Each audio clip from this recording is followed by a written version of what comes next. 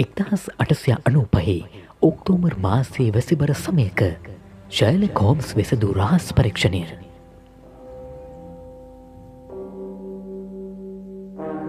විශ්ණුගේ අක්ෂය සම්පූර්ණ කතාව.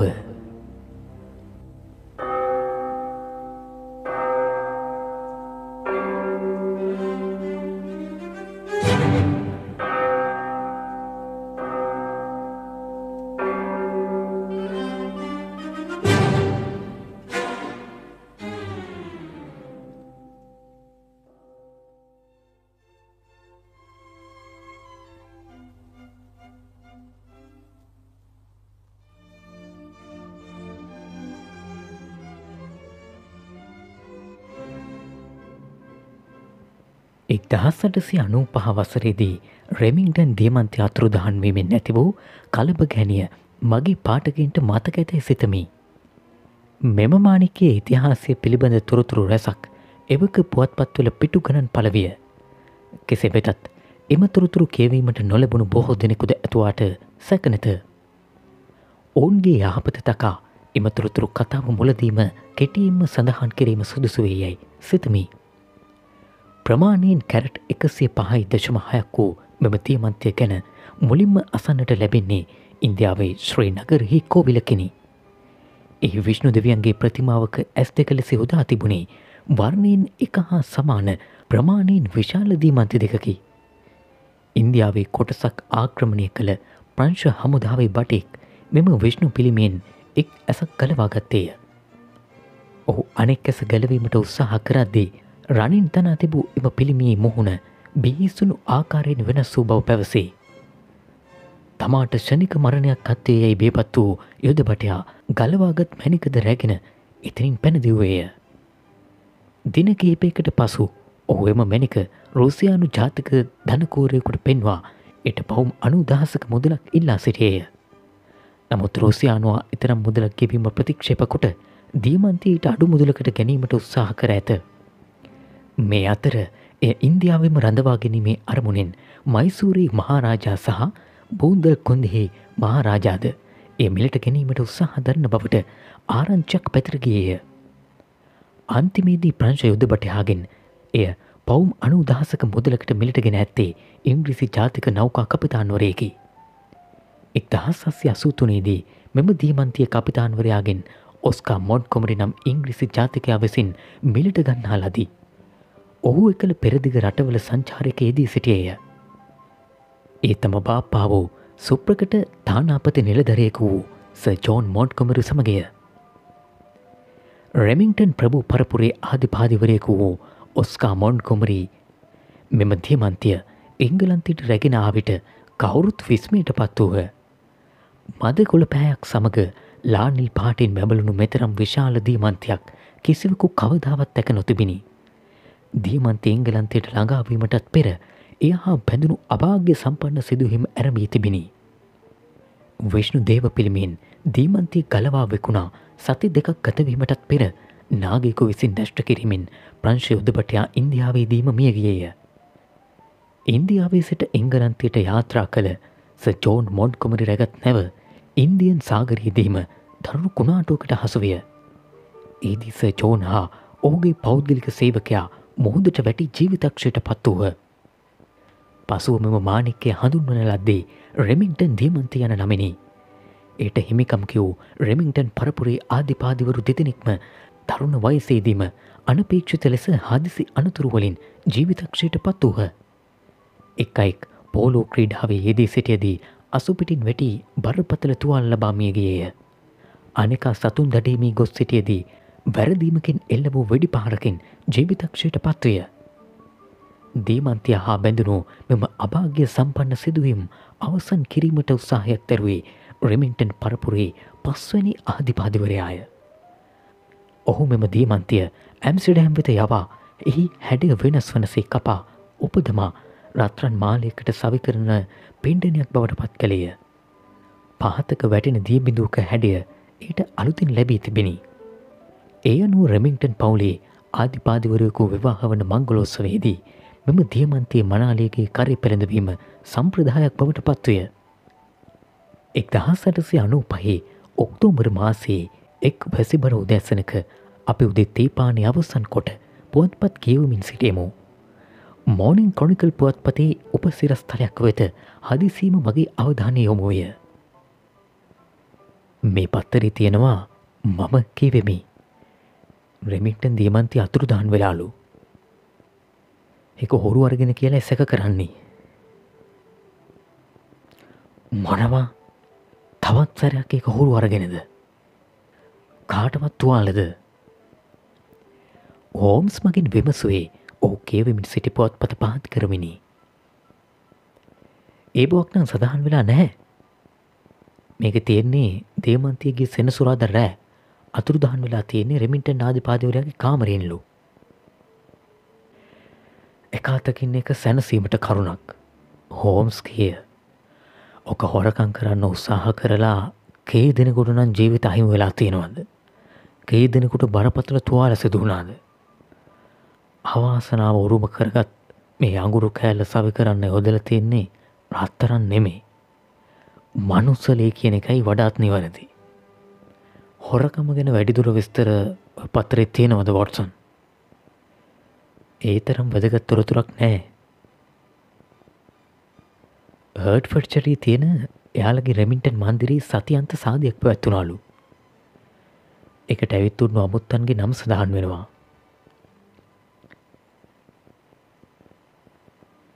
කාන්පුරේ මහාරාජා ගරු හැරිට් ඩේවිස් මෙනවිය මෙල්වින් ස්ක්‍රබ්බෝ මහතා එලීන රොබට්ස් මෙනවිය. මෙයාල කෞුද කියලනම් සඳහන් වෙන්නේ නෑ.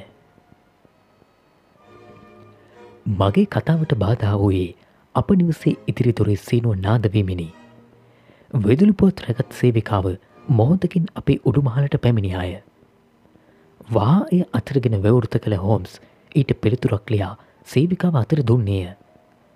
අනතුරු වෙදුලි පෝත මාදෙසට වෙසි කළේ සෙනාවක්ද සමගය.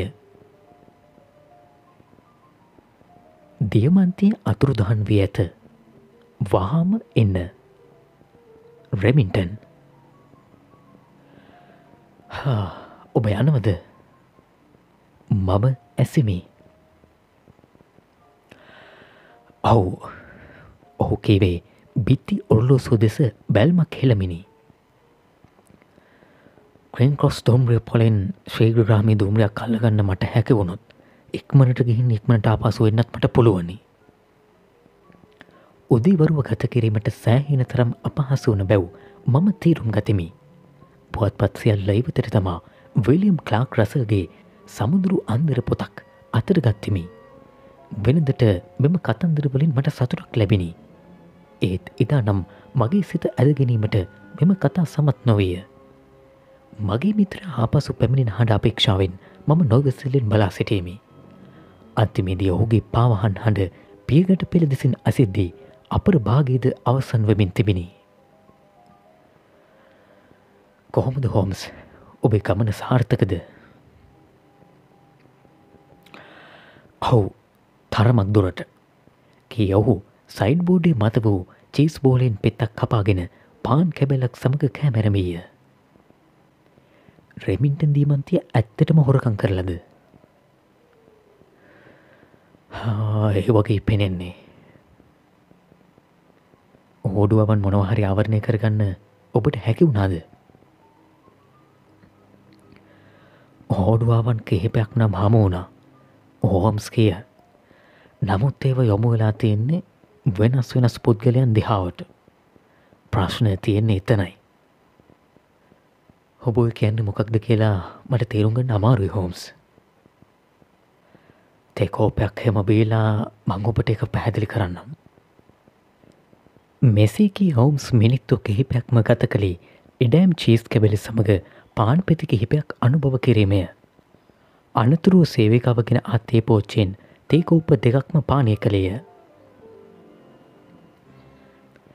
මගේ කෑමබීම අවසන් වනතුරු ඔබ රස්්ටය අදු කිරීම ගැන මට සමාවෙන්න වෝටසන්.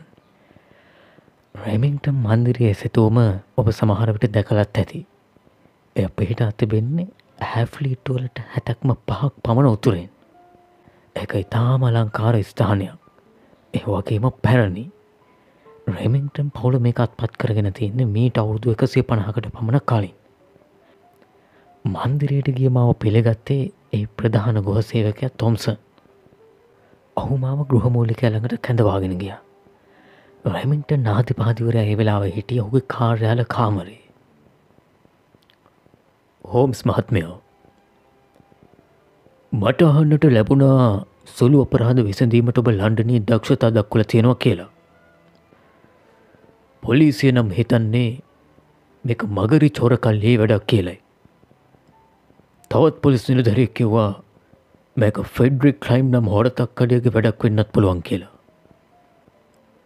මේ අහන්න ඔහේ මේකට යොදාගන්න ක්‍රමය මොකක්ද කියන එක මට ප්‍රශ්නයක් නෑ. නමුත් ඔබ කෝම හරි මට රෙමින්ටන් දීමන්තිය සොයාදිය යුතුයි. ඔයට තේරුණාද. මේක සොයාදින කෙනෙකුට පවුන් දෙදහසක තෑග්‍රක් ලබා දෙන බවට මං ප්‍රසිද්ධ කළා. නැතිවුණුදේ හොයා දුන්නොත් ඉතැග්ග ලැබෙන්නේ ඔබට. ආධිපාදතුමනි මුලින්ම මං කැමති අපරාධය සිදුවුණු තැන පරීක්ෂා කර බලන්න. එළඟට සෙනසුරාද රාත්‍රයේ මීට අදාළව යමක් දකින්න ලැබුණු සහ අහන්න ලැබුණු අය සමඟ සාකච්ඡා කරල බලන්න. පොලිසිය ඒ හැම දෙයක්ම දැනටමත් කරලා තියෙන්නේ. ඔහු එස සොලෝමින් කෙව්වේ තමන්නේට එකඟ නොවන බව හඟවමින්. යළි තොරක් එම දේවල්ම කිරීමෙන් මොකක් දැති ප්‍රයෝජනී. ආතිපාදිතුමනි මං කියනදේ තහන්න මංකෙව්වා නැතිවුණු දියමන්තිය සෙවීම ඔබ මට භාර කරනවා නම් මං එක කරන්නේ මම කැමති පිළිවලට මං ස්කොට්ලන්ඩ හත් පොලිස සමඟ සමීපව කටයුතු කර තිබෙන කෙනෙක් වැදගත් නිරීක්ෂණ විශ්ලේෂණ උපකල්පන පොලිසියට බොහොම විට මගේ හැරි තිබෙන බව මං හොඳින් දන්නවා ඒ නිසා පරීක්ෂණය මට කැමති පිළිවලට කරන්න ඔබ එකග නම් පමණක් අපේ කතාවට බාධා කරමින් කාමරී දොර එක්කොරම වවෘත වුණ ඒ සමගම කාමර ඇතුළටාවේ ඉතාම සුන්දර තරුණියක්. අවුරුදු විසි දෙකක් පමණ වූ ලාබාල වයසේ සිටි ඇය සීන් උසසිරුරක් සහ රන්වන් පැහැති අලංකාර කේෂ කලාපයක් තිබුණු තැනැත්තියක්. මේ රෙමින්ටන් ආධිපාතිවරයාගේ බිරිඳ වේතු බව මම එක්කොරම තේරුම් ගත්තා. ඇහැ කෙලින්ම හුට යමක් කියනට පටන් ගත්තා. නමුත් මාදුටුව හාම ඇයි ඒ කතාව අත්තිට එව්වා. මැරිලින් බොකක්දේ පාර ඇතිවෙලා තියෙන ප්‍රශ්නී ආධිපාදිවරය ඇසුවා. මේ මහත්මය කවුද මේ ලන්ඩනේ රහස් පරීක්ෂකෙක් නැතිවුණු තියමන්තිය ගැන සෙවීම මං ඔහුට බාඩ දුන්න.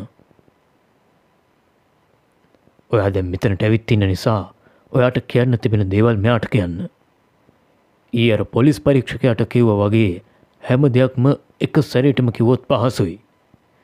එතකොට ඔට පුළුවනි තමන්ගේ රාජකාරි වහම පටන් ගන්න. මා දෙසට හැරුණු අය මද වේලාවක් නිශ්ශබ්දව මාතිහා බලාගෙන හිටිය. ඒ මා කුමනාකාරය කෙනෙකුද කියා නිශ්චය කරන්න වගේ. මට කියන්න තියෙන්නේ කාරණා බොහොම ස්වල්පයයි. ඇය අන්තිමදි කිව්වා. සෙනසුරාදරයි මං මගේ කාමරීට ගියේ රැ දහයාමාර පහුලා මිනිත්තු කෙහිපයකින්. මගේ සේවිකාව මට ඇඳුම් මාරු කරන්න උද වුණා. එකට වැඩි වෙලාවක් ගත වුණේ නෑ. ඊළඟට කාමරින් පිට වෙලා ගියා. එතකොට වෙලාව රෑ එකුළහට විතර ඇති. ඊළඟට මං ඇඳට ගියා. එතකොට දියමන්ති පෙන්ඩනය ඒක මන් දැම මගේ ආභරණ පෙට්ටියට. එක තැබුව මං ඇඳුම් අඳින කාමරේ. ඒ කාමරේ තියෙන්නේ මගේ නිතින කාමරයට යාබදව. ඔබේ ආභරණ පෙට්ටිය යතුරකින් වහලද තිබුණේ? ඔවු. නමුත් යතුර තිබුණ පෙට්ටියේ යතුරු කටේ. ආධිපාදිතුමා කිව්වේ නියම තත්ත්වය පහදමි. ඔය යතුර ආරක්ෂා සහිත තැනක හංගල තියන්න කියලා මං කොයි තරම් වාරගන්නක් කියලා තියෙනවද? සාමාන්‍යෙන් මං යතුරු පරිස්සම් සහිත තැනක තියෙනවා. ආධිපාදිවරය කිව්වා. නමුත් සෙනසුරාදරෑ එක මට අමතක වුණා. මට නින්ද ගිය වෙලාවේ කවුරු හරි කාමරයට රිංගාව කියලමට හිතුනුම නැහැ. ඔබේ නෙදන කාමරයේ තොර යහතුරු දමලද තිබුණේ මං ඇහුවා. ඔවු මං හැමපිටකම් මගේ නිදන කාමරේ දොර ඇතුළෙන් යතුරු දමනවා. ඇඳු මාරු කරන කාමරයට යන්න පුළුවන් මගේ නිදන කාමරය හරහා පමණයි. හැබැයි ඉතින් ඒක ජනේලයක් නම් තියෙනවා. ජනේලය ඔය වෘත්තවද තිබුණේ. මගේ නිදන කාමරේ ජනේලෙ නම් වහල තිබුණේ.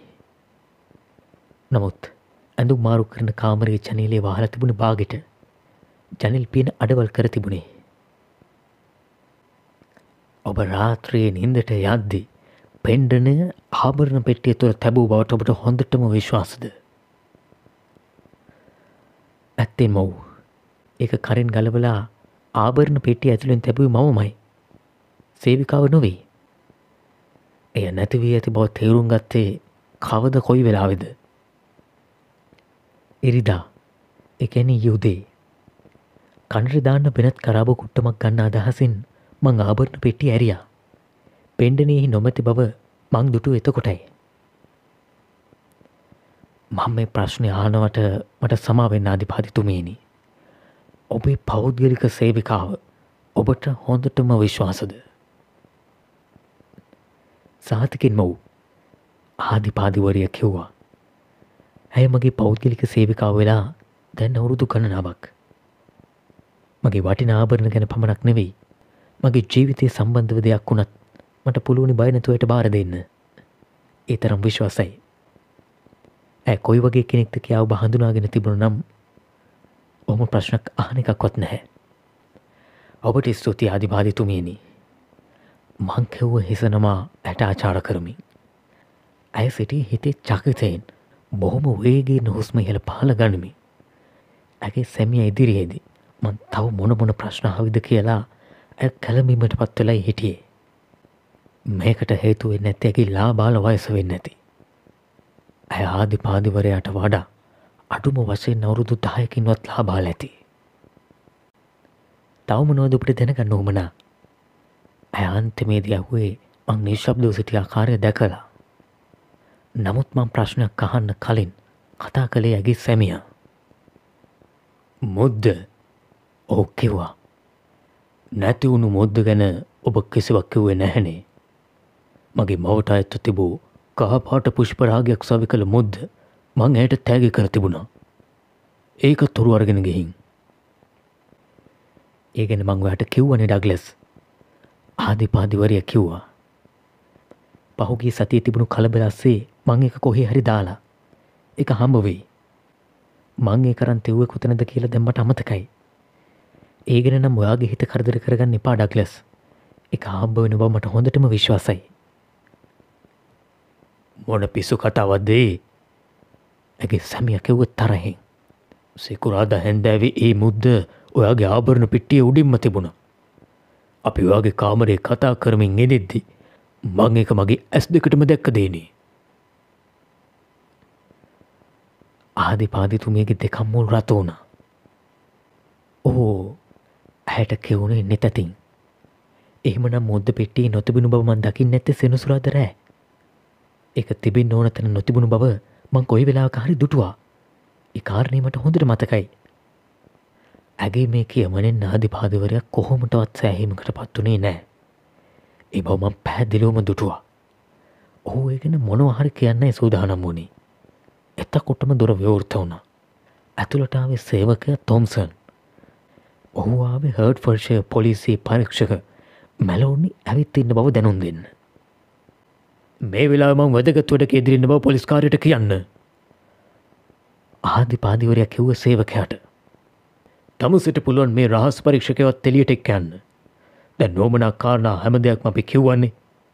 එයට පුළුවන් තමන්ගේ වැඩකටයුතු පටන් ගන්න. එයට බල නෝමනා කරන තැන් තියෙනවා නම් ඒවත් පෙන්වනවා. වටසන් මං ඔබට වචනෙන් වචනයට කිව්වේ ආදි පාදතුමා කතා කලාකාරයයි. ඔහු හරි උද්දච්ච කෙනෙ. ඔය සමහර මිනිසුන්ගේ බැංකු ගෙනුම් රන් පවුම් වලින් පෙරෙන්න පෙරෙන්න යම් යම් දෙවල් ලොවුන්ට නැතිවේ යනවා. ඒ තමයි ඔවුන්ගේ සිත්වල රැඳී තිබියුතු බුද්ධිය ආචාරශීලි බව සහ නිහතමානී නිරහංකාර බව. ඔහු උඩගු බවින් හිස උදුම්මාගත් අවිනීත චන්ඩියක් කියලයි මට හිතෙන්නේ. මම කීපෙමි. ගෑනිගේ මිනිහගේ සණ්ඩු සරුවල්වලට මැදිහත්වෙන්න සිදුවනාම ඔබට ලැජ්ජ හිතෙන් නැති. ඔහු කතා කළ තාලෙට වෙන කෙනෙකුනන් දමල ගහලා එතනින් පිට වෙලා එනවා. තමුසලගේ නැතිවෙච්ච මැනික තමුසලම හොයාගන්නවා කියලා. මටත් එහෙම නොහිතුනන් නෙමෙයි වොටසන්. නමුත් මේ වටිනා දියමන්තයට අත්තුණු ඉරනම මොකක්ද. අන්නේ අභිරහසට මගේ හිත ඇදිල ගියා. මේක යාල කියන විදිේ බොහොම සරල ගැටලුවක් නෙමෙයි කියලා මට ඒ මොහොතම වැටහුණා. එයාලගේ ආඩම්බර බල බල හරි මේ ගැටලු විසඳුවොත් ඒකෙන් මගේ හිතන ලොකු සතුටක් තෘප්තියක් ලැබෙනවා. ඒ නිසයි මේක භාරගන්න මන් තීරණය කළේ. තමන්ගේ ඇඳුම් මහරු කරන කාමරයේ ජනේලය රාත්‍ර පුරාම අඩවන්න තිබුණු බව රෙමින්ටන් අධිපාතිවරිය කිව්වා. ඒ බව ඔබට මතක ඇති. ඒ ජනේලය කෙලින්ම පහළ උද්‍යානයේ තනබිම් කඩට මයක්ක යන්න කියල මං සේවකයට කෙව්වා. මේක අවුරුදු දෙසීයකට වඩා පරණ මන්දිරයක්. මේක බිත්ති පුරාම බිම සිට හිල්ට ඇදී තිබුණේ අයිවී මල්වැල්. පොලිස් නිලධහරයට උදව් කරන්න සේවකය ගියා. මං ඒ අතරේ තනබිමේ හෝඩු හවන් වෙත මගේ අවධානය යොමු කළා. මුොදු පස්මත වැදුණු අඩිසටහන් ගැන්න මං දැටි අවධානයක් යොමු කරන බව ඔබ තන්නවා. ඒ නිසා මම බිම පැතිරේ මගේ තිනෙත් පොලෝට යොමු කළා. විශ්වාස කරන්න වෝටසන් කිසි මහාකාරය අඩිසටහනක් පොළොව තිබුණෙ නැහැ. ඒ වගේමයි අයිවී වැල් අල්ලාගෙන කවුරු හරි බිත්තියදිගේ හෙලට නැගලද කියලත් සෝදිස කළා. යන්තමින් අල්ලා අදිද්දි අයිවී ඉතිකොල සමඟ කැඩියාව. බිත්තියදිගේ කිසිවෙකු හෙළ නැග බවට මොන්නම ආකාරයකවත් සලකුණක් තිබුණේ නෑ. එහි නිසා සෙනසුරාදර ආව හොරා ගෙට ඇවිත්තියෙන්නේ ඒ පහරෙන් නම් නෙමෙයි. මැනිත්තු දායක් වතර ගතවෙද්දී තොම්සන්නන් සේවක මා සිරිතනට ආවා. රැමින්ට නාති පාදිවරියගේ නිදන කාමරය මට පෙන්වනමෙන් මං ඕගෙන් නිල්ලා හිටිය. ඇ තිබුණ සේත් පරිදි උඩු මහල පලවෙනි තට්ටුවේ. ඒ කාමර පිහිටා තිබෙන ආකාරය මං ඔබට පැහැදිලි කරන්නම් වොටසන්. මේ ගැටලුව තේරුම් ගැනීම එහෙම නැතිව අමාරුයි. වෙසිත්ත කාමර එක් කෙලවරක සිටයි උඩු මහට යන ප්‍රධාන තරපු පෙළ පිහිටා තියෙන්නේ. එක අඩි අටක් දහයක් පමණ පුළුල් එකක්. එක මොදුනෙදී වම් පැත්තර සහ දකුණු පැත්තට කොරිඩෝර දෙකකට බිදී යනවා. වම් පැත්තර තියෙන කොරිඩෝහෝ වැටෙන්නේ. රැමින්ටන් ආධිපාදිවරගේ නිදන කාමරයට සහ තවත් කාමර කිහිපයකට. මේ අනික් කාමර දැනට ප්‍රෝජනයට නොගන්න වාසාදමා තිබෙන ඒවා. ඒළඟට අපි හැරමු දකුණු පැත්ත කොරිඩෝහෝට. රැමින්ට නාධිපාදිවරයගේ නිදන කාමරි තියෙන්නේ එහි වම් පසින්. එක තමයි මුලින්ම හමුවන කාමරය. එයට යාබදව ඇති කුඩා කාමරය තමා ආධිපාදිවරි ඇඳු මදින කාමරය. ඉට පසු තිබෙන කාමරය පාවිච්චීට නොගෙන වසාදමා ඇති කාමරයක්. ඒටත් පසුව තමයි ගෙදිරට පැමිණි නමුත්තන් සඳහාවෙන් කළ නිදන කාමර හමුවෙන්නේ. ඒ පැත්ති එනම් දකුණු කොරිඩහෝව වම් පැත්ති තුන්වෙනි කාමරය තමයි ආදි පාදිවරගේ ඥාති සෝරය වන එලින රොබට්ස් මෙනවීගේ නිදන කාමරය. දකුණු කොරිඩෝවේ දකුණු අත පැත්තේ පළවුවන කාමරය දීල තියෙන්නේ හැරි ඩේවිස් මෙනවයට. දෙවිනි කාමරය කාන්පූරි මහරාජාට තුන්වැනි එක මෙල්වින් ස්ක්‍රාබ්බෝ මහත්මයට මේ කාමර පහු කරගෙන මේ කොරිඩෝවේ තවට්ටිකක් ඉදිරිහට ගියාම තවත් පේකට පෙළක් හමු වෙනවා. එක නෝමනානං ඉහල තට්ටුට නගන්න පුළුවනි. නැත්තම් පාල බිම් තට්ටුව වෙත බහින්නත් පුළුවනි. රැමින්ට නාධිපාදිවරයක නිදන කාමරය සෑහෙන තරන් ලොකෝ එකක්. එට ඇතුරුුණාම දකුණු පැත්ත තියෙන්නේ ඇගේ ඇඳ සහ අනෙකුත් ගෘහබාණ්ඩ. කාමරී වම් පැත්තර තිබෙනවා කුඩා දොරක් ඒකින් නැතුරු වෙන්න පුළුවන්නේ ඇ ඇඳුම් අදිර කාමරයට එක ඉතා කුඩා එකක්. එක තිබුණේ කන්නාඩි මේසයක් ලාච්චු කැබිනෙට්ටුවක් සහ කුඩා මේසයක් පමණයි. මෙම මේ සෙවුඩ තමා ඇක ආභරණ පෙට්ටිය තබා තිබුණේ ඒ අතුරින් වහල තිබුණත් යතුරු පෙන්නතික් මානයක තිබුණේ නෑ. ආභරණ පෙට්ටිය තරමක් ලොකුයි කියන්නත් පුළුවනි. හරි හත්තනස්ස එකක් වුණු එහි ආරක්ෂාවට කහපාට සම්වලින් සකස් කර කවරයක් යොදා තිබුණ. ඒ ළඟම මේසේ මත තිබෙනු මන්දුටුවේ කාන්තාවන්ගේ අත්මේස් ජෝඩුවක්. අලු පැහැති රෙදි වර්ගයකින් මසා තිබුණු ඒ පිට පැත්තේ. වර්ණවත් නූලින් එම්බරුයිඩ මෝස්තරයක් මසා තිබුණ. මේ ආත්මීස් ගැන මංගොබට කියන්නේ ඇයි. මගේ පරීක්ෂාව සිදු කළ වෙලාවෙ නම් මට ඒ අත්මේස්වල වැදගත්කමක් පෙනුනේ නෑ. නමුත් පසු මංදුටු කරුණුවලින් ඒ ආත්මේස්වලයම් වැදගත්කමක් මන් දුටුව. ඇඳුම් මාරු කරන කාමරය පරීක්ෂාවෙන් මට කිසි මලුද්දයක් හොයාගන්න හැකි වුණේ නැහැ. පොලිසි යමක් හොයාගත්තද කියා මං සේවකයකින් විමසවා. ඕකෙවේ තමන්ගේ මතකේ හැටියට හෙම දෙයක් සොයා නොගත් බවයි. ඒළඟට මං විමසා බැලුයි ගෙදර ඉන්න සේවකයන් ගැන. ඔවුන් ගැන දීර්ඝ විස්තරයක් තිබුණත් මං ඒව කෙටියෙන් කියන්නම්. ඒ ඔවුන් මේ සොරකමට අදාලයයි සිතාගන්න බැරි නිසා. මේ ගෙදරට සම්බන්ධ සේවකයන් දාහත් දෙනෙක් ඉන්නවා. උද්‍යාන සේවකයන් අශ්වන් බලාගන්න අය ආදී අය පදිංචුවේ ඉන්න ගෙදරින් පිටත වත්තෙක් කෙලවරක ඇති නිවසක. මැදුරු තුළ පදිංචය ගැන හිතමු. මෑතකද බඳවාගත් තරුණ සේවිකාවන් දෙදෙනෙකු හැරුණම අනිත් ඔක්කොම අවුරුදු ගන්නක් තිස්සේ මෙ නිවසට සේවය කරන වයස්කතාය. ඔවුන් හැම දෙනෙකුගේම පවුල්වල තොරතුරු ආදිය මං තොම්සගෙන් විමසවා. ඔවුන්ගේ නිදන කාමර තිබෙන තැන් ගැනත් මං ඔහුගෙන් නසා දැනගත්ත. ඒළඟට මං විමසුවේ මේ තට්ටුවල බිමට යෙදූ ලෑලිගන්න. ඒව මත අඩිය තබා ඇවිතිත්තේ ලෑලිවලින් කිරිකිරි හඬක් නිකුත්වෙනවාද කියන කරුණ මං සේවක තොම්සන්ගෙන් විමසවා.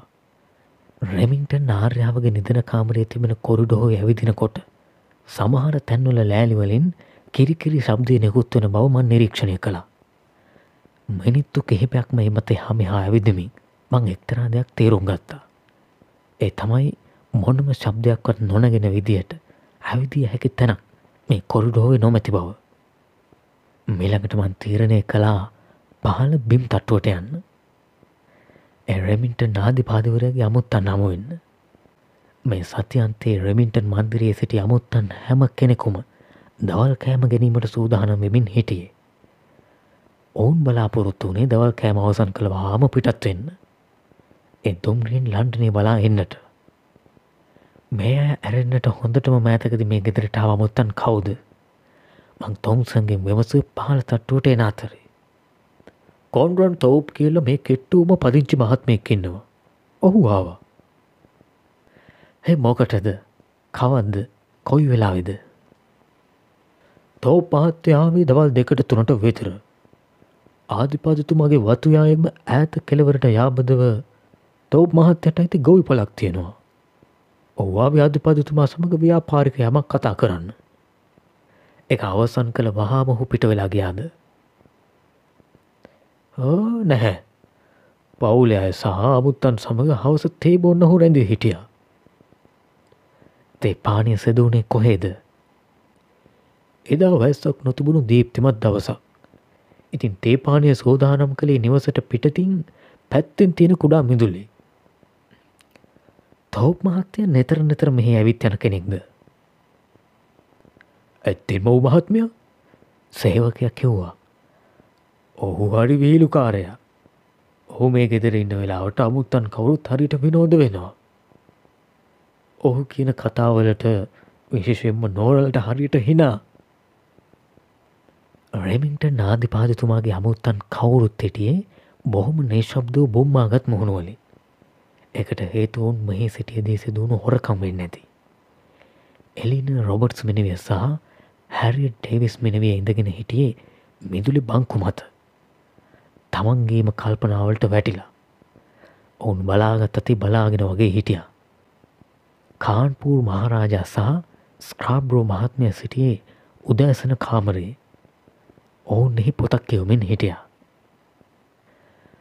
කාන්පූරී මහරාජා සෙත් ඇත ගන්නා චරිතයක් කෝට්සන් ඔහු තොටුව ගමන් ඔබට නම් හිතන එකක් නැහැ. මේ ඉන්දයානු ප්‍රභූ වරයෙක් කියලා. ඔහු හැඳ පැළඳගෙන හිටියේ ඉන්දිහානු ක්‍රමයට නෙමෙයි. ඔහු ෆ්ලැන රෙදිවලින් මැසූ කෝට් කලෙසම් මැඳලා ටයි එකක් දමල හිටියේ එංගලන්තේ ගම්බද ඉඩම් හිමි මහත්මයෙක් වගේ.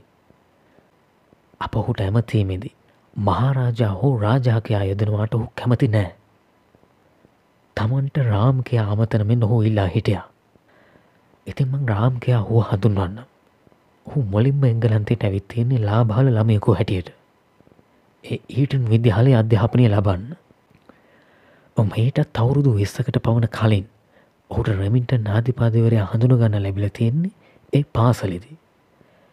ඒ අධ්‍යාපනය නිසාම ඕ ඉංග්‍රීසි කතා කරන්නේ නියම ඉංග්‍රීසි ජාතිකයකු වගේ. ඔහුට ඕමනා වෙලා තියෙනවා ඒටන් විද්‍යාලයේ මොඩලයට පාටශාලාවක් ඉන්දියාවේ කාන්පූරය අරඹන්න. ඔහු මෙවර එංගලන්තයට ඇවිත්තියෙන් ඒ කටයුත්තට. සෙනසුරාද රාත්‍රයේ මේගදිර සිදුවුණු දේවල් ගැන නම් ප්‍රයෝජනුවත්යමක් කියන්න හෝට හැකි වුණේ නෑ. ඔහු රෑ කොළහටත් කලින් වගේ ඇඳට ගියාලු. ඒක්මනින්ම හුට නින්ද ගිහින් තියෙනවා. හොඳින් නින්ද ගිය නිසා ඔහුට කිසිම ශබ්දයක් අහන්න ලැබිල නෑ.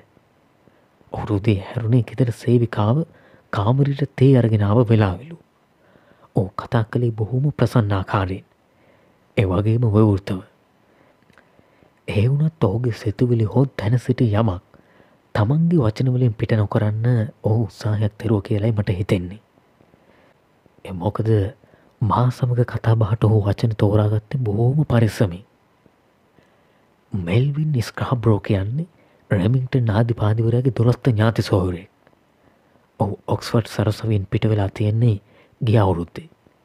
සුදුසු රැකියාවක් සොයමින් කාලය ගත කළත් තවමත් තවන්නක් ලැබිල නෑ. සෙනසුරාද රෑ දහය පවුණු එක්මනින්ම වගේ තමන් ඇඳටගේ බව ඔහු මා සමඟ කිව්වා. එදා හැන්දෑවී තමන් හොඟක් මත්පන් පානය කළ බවත් ඒ නිසාම තද නින්දකට වැටුණු බවත් ඔහු කෙව්වා. පහෝදා උදේ අවදි වනතුරු ඔහු කිසිම දෙයක් දැනගෙන ඉඳල නෑ. දියමන්තිය සහිත පෙන්ඩනය අතුරු දහන්වීමෙන් නැතිවුණු කලබ ගෑනිය ඔහු තැනගත්තේ පහෝදා උදේලු.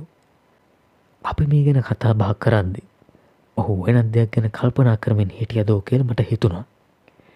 ඒ මොකක් ගැනද කියලමට තවමත් තරයට කියන්න පුළුවන්කමක් නෑවෝටසන්.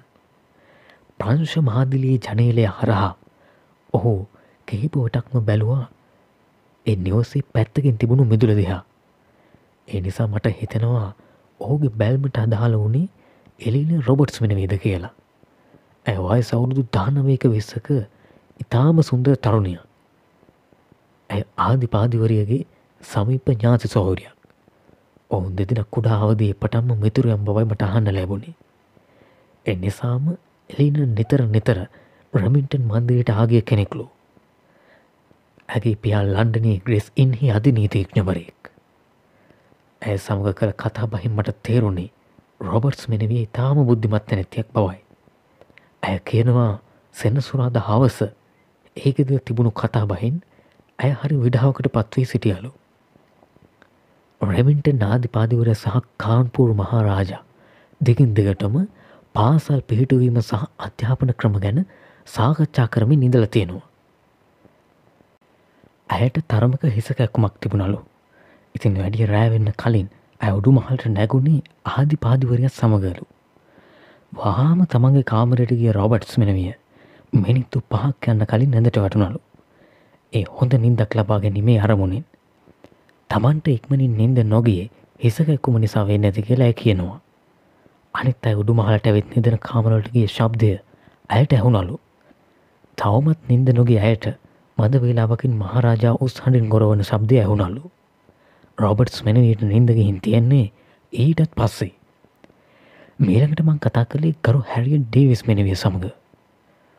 ඇය ප්‍රභූ පවුලට අයිති නිසා තමයි ගරු කියන වචනය ඇකි නම ඉදිරියෙන් සඳහන් වෙන්නේ. වයසෙන් අවුරුදු හැට පහක් පමණවන ඇය රෙමින්ට නාධි පාදිවරයාගේ ඥාති. මහරාජා උස්සඩින් කර ගෙරවීම නිසා හැරිය ඩේවිස් මෙනවේටත් හොඳට නින්දගහින් නැහැ.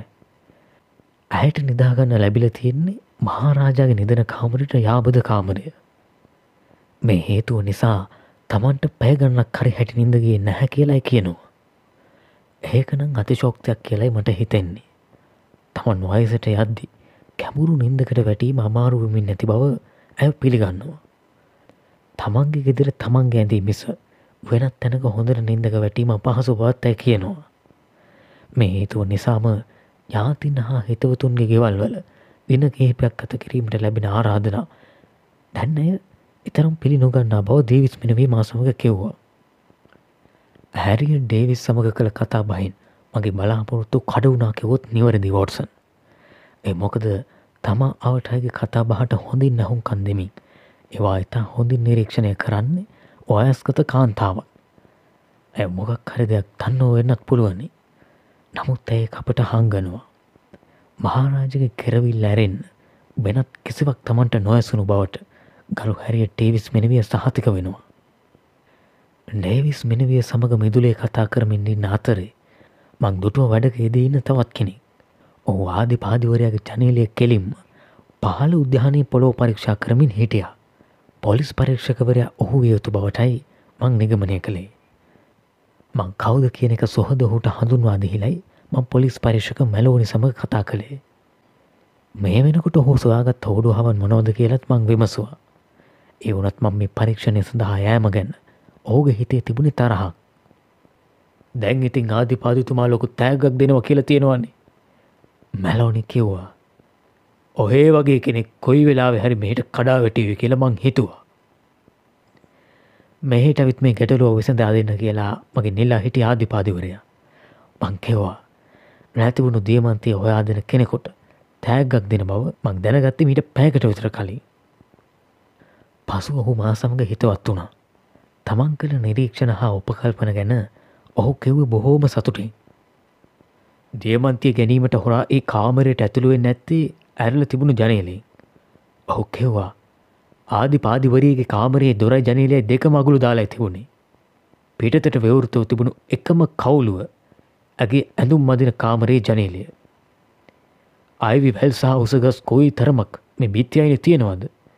වැල්වල එල්ලි යන දක්ෂයකුට මේක අමාරු කටයුත්තක් නෙමෙයි. ඒ විදිට ඇතුළුවුණු කෙනෙකු ඉතිරි කරගිය සලකුණු මොනවහරේ අපට දකින්නට ලැබුණද. මං ඇහුවා. එහෙම මොකුත් නම් දකින්න ලැබුණේ නෑ මේ අපරාධකාරය හොඳට පලපුරුදු තක් කඩි. සලකුණක් ලේසිට ඉතිලි කරලා යන අය නෙවෙයි. අනික මේ පඳුරුවල සලකුණක් ඉතිර වෙන්නේ නෑ. පා සටහන් මොනවහරි දකින්න ලැබුණේ නැද්ද. මං ඇහුවා. හොග දවසකින් වැස්සක් වැහැලනෑ. පොළොව හොඳටම වේලිලා. පාසටහන් වදින්නෙම නෑ. මං එක හොඳට සෝදිසි කලා අත්මේසික ඇරෙන්න්න වෙනත් කිසිම දෙයක් කමෝනේ නෑ. මොකක්ද අත්මේසකක් ගැන කිව්වේ. මං ඇහුව පුදුමයෙන්. ඇයෝ නොබට කිව්වේ නැද්ද. ඒක ඇති වැදගත්කමක් නෑ හෝම්ස් මහත්තය. එක රෙමින්ට නාධිපාදිවරියගේම අත්මේසකක්. මෙතන බිම තිබිල එක මට අහෝනා. අපරාධකාරය ජනීලයෙන් පිටවෙලා ඇති. ඕගේ ඇඳුම්වල පැටවෙලා අත්මේසකත් එන්න ඇති. ඔවු වෙන්න ඇති. තවත් වෙන්න පුළුවන් එක දෙයයි. පොලිස් පරීක්ෂක මැලෝනි කිව්වා. තමන්ගේ මිත්‍රයකුට සංඥාවක් හැටියට අපරාධකාරය ආත්මේසක ජනීලින් එලියට විසි කලා වෙන්නත් පුළුවනි. ඇත් ඒ වෙලාව තිබුණු කනාන්දකාරය හැටියට එහෙම දෙයක් හිතන්න තමාරුයි නේද. මං ඇහුවා. ඔවු ඒකත් හරි. ඒ අත්මේසක ඔවුන් විසිත්ත කාමරයට ඇතුළුන්න තැන පෙට්ටියක් උඩ තියල තිෙනවා. ඔවුන් එහෙම තැබුවේ මට අයිත් බලන්න ඕමනා වුනුත් බැලීමට පහසු වෙන්නයි. එක ආයි බලන්න මට නම් අවශ්‍යතාවයක් නෑ. පොලිස් පරීක්ෂකවරයා මීළඟට ගේ ඇතුළටගේ ආද පාදවරය හමුවෙන්න. මං එලියට වෙලා කල්පනා කරමින් හිටිය. මේ මට මොනවහරි අමතක වුණාද මට නොපනී මග හැරුණද බෙත්තිය දිගේ උඩට වැවී තිබෙන අයිවී මැල්වැල් හා පඳුරුවල එල්ලී කවුරු හරි උඩට නැගුණ කියලමං තවදුරටත් කල්පනා කළා. රැමින්ට නාධිපාදිවරිය සඳහන් කරන ඇඳුම් මාරු කරන කාමරයේ ජනේලිය කෙලින් පහල බැල්වල මං එල්ලි බැලුව. මං හුඟක් මර කෙනෙක් නෙමෙයි. ඒ වුනත් කොලාතු පහසුවෙන් කැඩීගිය. සෙනසුරාදරෑ කාගෙ හරි අතින් එහෙම අතු කැඩීගේ සලකුණු තිබුණෙත් නෑ. ඊට පස්සෙ මංගයා රෙමින්ටන් මන්දිරය ඇතුළට මැලවනි සඳහන් කළ අත්මේසක ම පරීක්ෂා කරලා බැලුවා. අලුපාට මුොදු රෙද්දකින් මසා තිබුණු එය කාන්තාවක දකුණු අතේ අත්මේස එකක්. එහි පිට පැත්තේ එම්රෝයිඩ කළ ගෙත්තමක් තිබුණා. උඩු මහලේ ආධිපාදිවරේගේ කාමරේ මට දකින්න ලැබුණු ආත්මේස් චෝඩුවට මේක බොහෝම සමානයි. ඔවෙනසක් වුණේ ඒ අත්මේස්වල මල් මෝස්තරය ගෙත්තන් කර තිබුණේ රෝස පාටේ. මේක තිබුණ නිල් පාටේ. මැලෝනිකිව්වේ අත්මේසක සුරාග කවාතේ අහම්බෙන් පැටලි එලිට එකක් විය යුතුයි කියලයි. නමුත් මම ඒ මතයට එකඟ නෑ. මම හිතන්නේ එක හිතා මතාම ජනයලින් එලියට දැමුව එකක් කියලයි. නමුත් එක් කවුරු විසින්ද කුමක් නිසාද කියල තේරුම් කරන්න මට තවමත් හැකියාවක් නෑ. මම දැන් ඔබට කෙව්වේ මට දකින්න ලැබුණු තුන්වැනි අත්මේස එකක් ගැන. එතකොට කෝ මේ හතරවෙනි එක ඒ යන්නේ එලිය තිබේ හමුණුව එක වම් පැත්තේ අත්මේස එක. ඒ තවමත් මට දකින්නට ලැබුණේ නැති බව මට සිහිවුණා. මේළඟට කර සොයා බැලීමේදී ඒක මට හමුවුණා. ඒ ආදි පාදිවරේ ගැඳු මාරු කරන කාමරය තිබිලා. එහි පුටුවක් මත තිබුණ පුළුල් වාටිය සහිත පන්තොප්පියක්. අත්මේසක තිබුණ එකට යට වෙලා. අපරාධය සිදුහුණාට පස්සේ කාමරේ බඩු එහා මෙහා කලාද අස්පස් කරාද කියලා මම සේවකයකින් විමසවා. පොලිසියවිත් පරීක්ෂා කරන තුරු කිසිවක් එහා මෙහා නොකරනමෙන් ආධිපාදිතුවා උපදෙස්තුන් බව සේවකයක් කිව්වා. ඒ කියන්නේ ඒ කාමරී තිබී මට හමුණු ආත්මේසක එතන තිබෙන්නේ අපරාධය සිදුවුණු සෙනසුරාන්න රාත්‍රයේ සිට විය යුතුයි. එතකොට වොටසන් අද උදේවරුව මා කළ නිරීක්ෂණ හා විමසීන් ගැනයි මං ඔබට කිව්වේ. ඔබට ලැබිල තියෙන දත්ත හා නිරීක්ෂණවලින් යම් නිගමනයකට එන්න ඔබට හැකුණද හෝම්ස්. සොරකම කළේ කවුද කියන එක නිශ්චය කරන්න තරම් මේ දත්ත ප්‍රමාණවත් මදි. හෝම්ස් කීවේ හෝගේ පයිප්පේ කෝවට දුම්කොළ පුරෝමිනි. තවත් මූලික නිගමන කිහිපයකට එන්න මට පුළුවනි. ඒ මොනවද ඇයින් පළමුුවෙන එක රෙමින්ටන් මන්දිරයට සෙනසුරාද රෑ පිටතින් හොරෙක් කාවෙන් නෑ. හොරකං කළේ ගෙදර සිටි කෙනෙක්. අත්මේසක ඕමනාව එලියට විස කළේ අපෝ නොම ගැවීමට. මොනවා එතකොට ඔබ කියන්නේ සත්‍යන්තයේ ගෙදර නැවතුණු අමුත්තන්ගෙන් කවුරු හරි මේ සොරකම කලා කියලද. ඔවුන් හැම දෙනෙකුම වැදගත් තැනවත් අයිනි. ඔවුන් වැදගතුන් වෙන්න පුළුවන් වටසන්. නමුත් දියමන්තය ගත්තේ එහින් කෙනෙකු බව මට විශ්වාසයි. මේ හැම දෙනෙකුම අත දවස පදිංචි ලන්ඩනේ. මෙන්න මාළඟ තියෙනවා ඔවුන්ගේ ලෙපින. කී හෝම්ස් කුඩා සටහන් පොතක් අතරගත්තේය. කාන්පූරේ මහරාජාහෙවත් රාම් මේතිනොල්ල නවාතන්ගෙන ඉන්නේ ග්‍රව්නෝල් හෝටරේ. හැරිය ඩේවිස් මෙනවිය පදිංචි චෙරිට්‍රි උද්‍යානයේ ඇගේම නිවසේ. ස්ක්‍රාබ්රෝ මහත්මයාගේ ලිපිනය චෙක්ස් හෝල් වේදයේ. රොබර්ස් මෙනවිය ඉන්නේ ඩෙසෙට් උද්‍යානයේ ඇකි දෙමාපයන්ගේ නිවසේ. රෙමින්ට නාධිපාතිවරයක් දින කිහිපයකට ලන්ඩ නෝරට ඇවිත් ඇවෙන්නේ සාන්ත ජේම්ස් චතුරශ්‍රයේ ඔවුන්ගේ නිවසේ. එනිසම් මේ පරීක්ෂණය පිළිබඳ වැඩිදුර විමසීමකට ඕනෑම මොහොතක මට පුළුවනී ගෙහින් නොවුන් හමුවෙන්න රෙමින්ටන් මන්දිරේදී ඔවුනට නිදහසේ කතා කරන්න අවස්ථාවක් තිබුණේ නෑ. ඒක නම් පැහැදිලි. තමන්ට කීමට තිබෙන දේවල් පෞද්ගලිකව රහසකතෝ මා එක්ක කියන්න තිබෙනවා නම් වැඩිමනක් යමක් කියන්න ඔවුන් සූදානම් ඇති. මගේ ආගන්තුක පත්‍රය ඔවුන් හැමදෙනකුටම දුන්න. ඔවුන්ගෙන් කෙනෙකු නැත්තන් දෙදෙනෙකු ඉක්මනින්ම මා හමුවෙන්නේවි කියලා මට විශ්වාසයි වෝටසන්. කතාව අවසන් කළ ඔහු දෙනෙත් අඩවන් කරගෙන පයිප්පිම් දුම් පිට කළ අයුරු මම බලා සිටීමි. මගේ සිතර නැගුණු ප්‍රශ්නය මා ඔහුවත ඉදිරිපත් කළේ එවිටයි. රෙමින්ට නාර්යාවගේ නිදන කාමරයේ තොර සෙනසුරද රාත්‍රය අගුළුදමා තිබුණ බව අපට අහන්න ලැබුණ. මම කිවෙමි. ඇගේ නිදන කාමරය හරහා මෙසක් අර ඇඳුම් මාරු කරන කාමරයට යන්න වෙනත් කිසිම ක්‍රමයක් නෑ. එහෙමනම් ගේ ඇතුළ හිට කෙනෙක් කෝමද දීමන්ති පෙන්ඩන අරගෙන හංගාගත්තේ. අප කියන දේ නෙවරදි වර්සන්. මගේ මිත්‍රා කියවේ මිනිත්තු කීපයක නිහඬතාවයකට පසුය. එක හංගන්න ක්‍රමයකුත් නැහැ. නමුත් තරගෙන කොහොම දෙක කළේ. මං ඔබට නිශ්චිතෝම කියන්නම් මං කලින් නම් සඳහන් කළ අයකින් දෙතිනෙක් නැතන් ඊට වැඩි ගණනක් කළ ප්‍රකාශ සියයට සියක් ඇත්ත නෙවෙයි. ඒවාට බොරුත් අන්තර්ගතයි. මේ මොහොතේ ඔහුගේ කතාවට බාධා කරමින් අප නිවසේ සීනුව නාදවනු අසන්නට ලැබින. ශලකොම්ස් මහතා හමුවීමට අමුත්තෙකු පැමිණ ඇති බැව් පැවසු සේවිකාව ඔහු එසිත කාමරය තුළට කැඳවාගෙනාවාය. ඒ කළු පැහැති කෙටි කොන්්ඩයක් හා උස්සෙරුරක් තිබූ කඩවසම් තරුණයකි. ආයිබෝවන් මෙල්වින් ස්කාබ්‍රෝ මහත්මයා.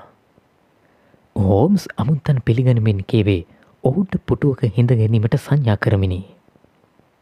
හෝම්ස් මහත්මයා ඔබ දෙනක තුතු කාරණා කිහිපයක් ඔබට දැනුම් දෙන්න මං කැමතියි.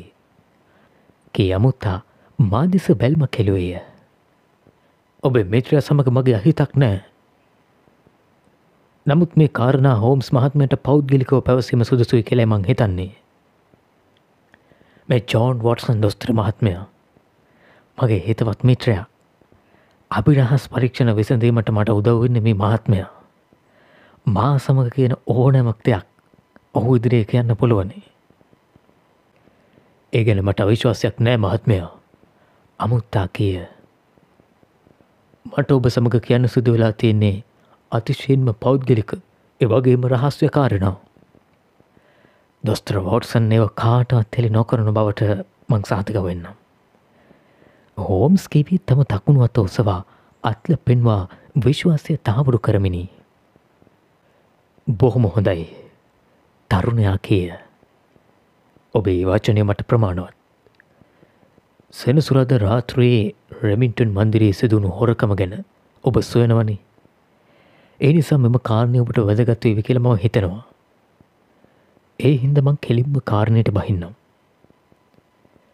රෙමින්ටන් මැදුරේ එදා එකන්නේ සෙනසුරාද රාත්‍රී භෝජන සංග්‍රහයෙන් මං පටන් ගන්නවා. ඒක මං ආශාපයෙන් බොක්තිවින්ද නැති බව මුලින්ම කෙවයුතුයි. එකට ප්‍රධාන හේතුවක් වුණේ අමුත්තන් අතර ප්‍රසන්න වෙනෝදමත් සංවාදයක් නොතිබීම. ආධිපාදිවරය රාම් සමඟ අධ්‍යාපන ක්‍රම ගැන කතා කළා. ඔවුන්ගේ අනික් මාතෘකාව ඕනේ රෙවිංටන් පවුලට අයිති ඉඩ කඩම් මන්දිර සහ අනෙකුත් දේපල මේ කතන්දර අහගෙනන්න බැරි තරමට තිත්ත වෙලයි මං හිටියේ. එලින හිටිය මා ළඟ මාසුනක. ඇය සමග අප දෙදෙනගේ කතා බහක් කරබන්න මං උත්සාහ කළා. නමුත් එක හරිගියේ නැහැ. එක ප්‍රතිඵලය වුණේ මොකක්ද මන්තයකින් දෙකටම වයින් පානය කළා. වයින් වලින් මත්වෙද්දී මගේ කටනුත් මෝඩ විදිට නොයෙක්දේ කියවෙන්න ඇති. එහි නිසා වෙන්න ඇති වෙනදට මායික සෝද කතා කළේ නින පසුව වඩාත් නිශබ්ද වුණේ. අපි රෑකෑම අවසන් කළා. එතකොට වෙලාව දහයාමාරහා දහය හතුලිස් පහතර විය යුතුයි. මුලින්ම කාන්තාවන් තුන් දෙෙන එලීන ඩේවිස් මෙනවිය සහ ආධිපාදිවරය නිදාගන්න යන බව අපට කිව්වා. තවත් පැය කාලකට විතර පස්සේ ආධිපාදිවරය සහ රාම් දෙදෙනත් නිදාගන්න යන බව කිව්වා. එතකොට එකොළහ පවුනා විතරයි. මේ වෙලාපි ඇඳට ගියාට මට නින්දයන්නේ නැති බවමන් දැන හිටියා. මට හිතුන ගෙදර පුස්තකාලිට ගිහින් කියවන්න පොතක් හොයාගන්න. පුස්තකාලයට ගියාම ඒක තිබුණ කළුවරේ පුංචි එලියක්ව හිදුනේ ගිනියුදුනින් පමණයි. ඒක තිබුණ හොඳ උණුසුම් බවක්. ගෙනියුදුන කෙට්ටුවම තිබුණු හාන්සපුටෝකමං වැතිරුණා. ඒ වෙරිමත අඩු වනාම. මගේ කාමරට යායුතුයි කියන කල්පනාවෙන් මට එතන ඉක්මනින්ම නින්ද යන්න ඇති. මීළඟට ශබ්දයක් ඇසී මට හැරුණා. ඒ දොරක් වවෘත කළ සහ පරිස්සමින් දොර වහපු ශබ්දය. ඒ ඉක්මනින්ම මට අහන්න ලැබුණේ කාන්තාවකගේ දිග සායක රැලි එකනෙක ගැටීමෙන් නැති වූ ශබ්දය සහ ඇස්සෙමින් පිව තැබූ හඬ. ඇය ගමන් කළේ මං වැතිර සිටි පුටුවට පිටුපසින් පුස්තකාල කාමරය හරහා. මේ වෙලාව මං හිටිය අඩ නින්ද වියයුතුයි. නමුත් සෑල්ලු ගමනින් නැවිදගීමේ තැනැත්තිය එක්කෝ මැරීලින් එන මාධිපාදිවරිය නැත්නම් එලි නවියයුතුයි. මා විසින් කළ යුතුව තිබුණේ එතනින් නැගිට මා එතන සිටින බව වහාම දෙනුම් දීමයි. මං එහෙම කළොත් මේ දකින කවුරු හරි ඒ ගැන වැරදි වැටහීමක් ඇති කරගන්න පුළුවන් බත් මට වැටහුණා. මොකක්ද මං කළ යුත්ත කියලා හිත හිතා ඉන්නකොට මට තවත් ශබ්දයක් ඇවුණා. ඒ උස ජනීලයක තෙරයක් ඉවතට අඳින හඬ සහ ජනිල පියනක් වවෘත වුණු හඬ. ඊළඟට අහන්න ලැබුණේ ගැහැනියක සහ පිරිමියකු රහස් කියන ආකාරයට අඩු ශබ්දයෙන් කතා කළ හඬ. නමුත් ඒ කතා බහ මොකක්ද කියන එක නම් මට යන්තමින්වත් ඇවුණේ නැහැ. ඔවුන්ගේ දේවල් මට තේරුම් ගන්න බැරිවුණු බව ඇත්තයි. නමුත් මේක බොහොම රහසිකත සාකච්ඡාවක් බව මම තේරුම් ගත්තා. මේකට සම්බන්ධ නොවී මං වහාම මෙතනින් පිටවී යුතු බව මට වැටහුණා. නමුත් අන්දකාර නොපුරුදු තැනක එහෙම කරන්න යන එක තවදානම්. ඔවුන් කොයි තරම් වේලාවක් කතා බහ කලාද කියල මම දන්නේ නෑ. සමහරවිට මිනිත්තු දායක්. කොහොම වුණත් මට නම් මේක තැනුනේ පැයභාගයක් වගේ. අන්තිමේදී ජනලේ වහන හඬත් ජනිල් රිද්ද ආපසු ඇද්ද ශබ්දයත් මට ඇහුණා. මීළඟට එක්මනින් පුස්තකාලය හරහා ඇවිද ගිහින් එහිදුර වවෘත කරගෙන පිටවෙයි යළිත් ශබ්ද නොනගා දොරවසා යන්න ගිය. පුස්තකාලයේ යරිත්තොරක් නිශබ්ද වුණා. ඒ මොහොතේ මගේ හිතේ ඇතිවුණේ මහත් සැනසීමක්. මං මිනිත්තු පහක් එතනම හිටියේ මං ආපහු මගේ කාමරට යා යුතු ආකාරය මතක් කරමින්. බෙම ලෑලිවලින් පුළුවන් තරම් කිරිකිරි ශබ්දය මග හරිමින් මං ආපහු කාමරයට ගියා. එතකොට මං වේලාව පරීක්ෂා කළේ. එතකොට රෑ එකට පහයි. කාගෙ හරි නිදන කාමරයක පහනක් තවමත් දැල්වන ආකාරයක් ඔබට දකින්න ලැබුණද. හෝම්ස් විමසීය. නැහැ හැම කාමරයක්ම තිබුණේ අඳුරේ ඇන්තට වැටනු ගමම්ම මට ඉක්මනින් නින්ද ගියා. රාජාගේ ගොරවන සබ්දය ඇහුණත් ඒක මට ප්‍රශ්නයක් වුණේ නෑ. මේ තොරතුරු මට ලබාදීම ගැන මංගුපට බෙහෙවිම ස්තුතිවන්ත වෙනවා. හෝම්ස් කිය පුස්තකාලය ඇතුළේ ඔබ ඉන්න ඇත්තේ මොනතර මමාරු තත්ත්ව එකද කියලා මට තේරුම්ගන්න පුළුවනි. ඒවාගේම මේ කාරණා මට කියන්නත් ඔබ හිතහදාගන්න ඇති අපහසුයි. ඔබ කිව් කාරණා මගේ පරීක්ෂණයට මොනතරම් ප්‍රයෝජනවත් වේවිද කියලා මට කියන්න අමාරුයි. කොහොමුණත් මේ තොරතුරු කාටවත් හෙරි නොකරන බවට අපි දෙන්න පොරොන්දු වෙනවා. ස්කාප්රු තරුණයා අපි කාමරය තුළ රැඳී සිටියදී මගේ මිත්‍රාගේ තිබුණේ ආචාරශීලී සංසුන් ලීලාවකි.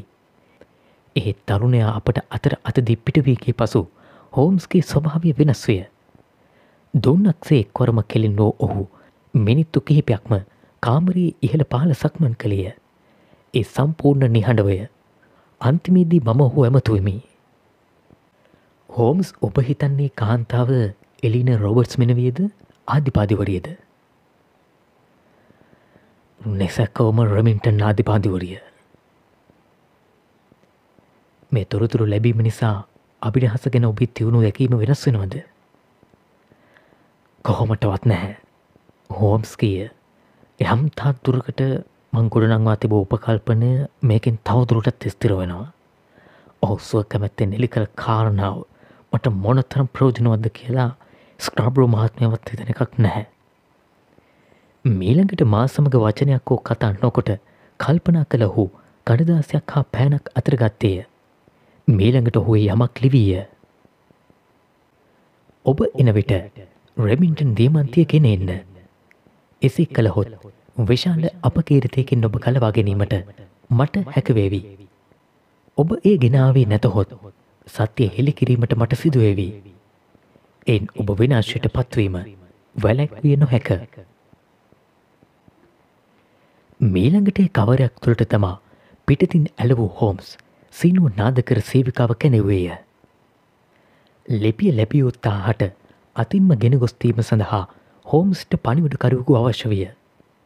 හෝම් සේවිකාවට දැනුන් දුන්නේ එවැනි පනිවිඩකරුවකු කැඳවන ලෙසයි. පනිවිඩකරු අතේ ලිපිය වූ හෝම්ස් හාන්සිපුටුව වැතිරී දෙනිත් පියාගත්තේය.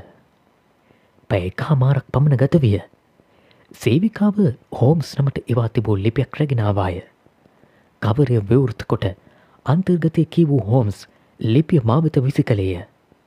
එය කෙටි ලිපියකි. හෙතමත් හෝම්ස් මහතානෙන. අදරාත්‍රී නවයට ඔබේ නිවසට පැමිණ ඔබ හමුවීමට බලාපොරොත්තුවමි. කාන්පෝර් හි රාජා අටයි කාල පමණ වෙද්දී අපේ ඉදිරි දොරේ සීනුව නාද වෙන ශබ්දය ඇසිනි. මිනිත්තු කිහිපයකට පසු නිවසේ සේවිකාව අමුත්තෙකු උඩු මහලට කැඳවාගෙනාවාය. අමුත්තා හඳුන්වාදනු ලැබුවේ ගරු හැරියට් ඩේවිස් මෙනවිය ලෙසයි. වයස්කත කාන්තාවක වූ ඇයට තිබුණේ කුඩා සිරුරකි. ඇගේ කෙස් වැටිය බාගිට පැසි අලු පැහැට හැරි තිබූ අතර සිරුර මදක් කුදුවී තිබූ බැව් අපි දුටුවමු. ගෙනියුදුන අසලම පුටුවේ හිඳගන්නාමෙන් හෝම්ස් ඇට සංඥා කළේය. මීළඟට ඔහු තමා සඳහා පුටුවක් ඒ අසල්ට ගෙන ගියේය. ඇය තම දැත් ගිනි උදුනට ලංකරමින් උණුසුම් කලාය. එමෙන්ම ඇගේ තිබුණේ නිහඬ බවකි. අන්තිමේදී හෝම්ස් කතා වැරඹුවේය. සැනසුරාද රෑ රෙමින්ටන් මන්දිරයේ යම් යම් දේ සිදු වුණ. හෝම්ස් කියය. ඒ ගැන මට කෙවයුතු යමක් ඔබේ හිති තියෙනවා. ඇයමගේ මිත්‍රා දෙස හැරුණත් වචනයක් වූ නොකීවාය. ඒ වෙනුවට එම කතාව හෝම්ස්ට කීමට සිදුවන බැව් පෙනිනී. සෙනසුරාද රෑ ඔබට නින්ද ගියේ නෑ. ඔබේ කාමරය ඇන්දට වෙලා නමුත් ඇහැරිල ඔබ නිහඬෝ සිටිය. මැතියම්රයත් පහුවෙලා රෙමින්ටන් ආධිපාදිවරියගේ කාමරයේ දොර ඇරෙන ශබ්දය ඔබට ඇසුනා. ඊළඟට තරප්පුෝ දෙසට ඉතා පරිස්සමින් නැවිදගේ ශබ්දය ඔබට ඇහුුණා. ඔබ ඔබේ කාමරයේ තොර යන්තමින් නැරල බැලුව. මොකක් ඔබ තුටුවේ ඇගේ රාත්‍රී කවුමට පිටතින් ඩ්‍රෙසින් ගවමක් කැඳගෙන ආධිපාදිවරිය පාල තට්ටුවට බැසගිය හැටි ඔබට දකින්න ලැබුණ. ඔබ හිතට යම් සිතවිල්ල කාවිශ්ෂණිකව ඔබ ක්‍රියාත්මක වුණේ වැඩදුර කල්පනා නොකර ඔබ පරාදය හරහා ගෙහින් ඇගේ නිදන කාමරයට ඇතුළ වුණ. එතනින් නැගේ ඇඳුම් මාරු කරන කාමරයටගේ ඔබ දුටුවා එහි තිබූ ඇකි ආභරණ පෙට්ටිය. ඒ අතුර එහි අතුරු කටේ තිබුණ. වහා මාභරණ පෙට්ටිය වයවෘත කළ ඔබ රැමින්ටන් දීමන්තය අතරගෙන පෙට්ටිය වැැහවා. මේක පිටතින්නක් කෙනෙකුගේ වැඩක් පව පෙන්වීමට ඔබට සිතිවිල්ලක්කාවා. පුටුවක් මත තොප්පයකට යටවෙලා තිබූ අත්මේස් කොට්ටමකින් එකක් කරගෙන ඔබ ජනේලේ නිලියට විසි කලා එක පහෝදා උදේට හමුවන බව ඔබ තැන හිටිය. ඊළඟට ඔබ ඉක්මනින් ඔබේ කාමරයට ගිහින් දොරවසාගන්න දියමන්තිය ඔබේ කමන් මල්ල තුළ සැඟෙව්වා. ඩේවිස් මෙනවියගෙන් කිසිදු පිළිතුරක් නොලැබිණි. ඇතිකටම හෝම්ස් දෙස බලා සිටිය අය ඔහු තම කතාව යළියරඹුවේය ඔබ සොරකං කරගත්තේ සමඟ ආපසු කෙදරාවමයි ඔබ පත්වුණු තත්ත්වයේ නියම ස්වභාවය ඔබට වැටහුණේ. එක් මොහොතකට ගත් හාදසි තීරණයක් නිසා ඔබ වැටුණ හරි කරදරයක. භයානක විනාශකාරී තත්ත්වයක කියලා යන්නත් පුළුවනි. ඔබට ඇත්තෙමුයි දීමන්ති පෙන්ඩනය ඕමනා නැහැ. ඔබට එක පලඳින්නත් බැහැ. එක ඉතාම සුප්‍රසිද්ධ මැනිකක් නිසා එක වෙකුණන්නත් බැහැ. මොනව කරනවාද කෙල ඔබ කල්පනා කළා. මේ අතරදි තමයි මගේ ලෙව්මොබට ලැබුණේ. මේ ප්‍රශ්නයෙන් ගොඩා හැකි ක්‍රමයක් එක සඳහන් වුණා. මංකිව් දේවල් හරිනේද.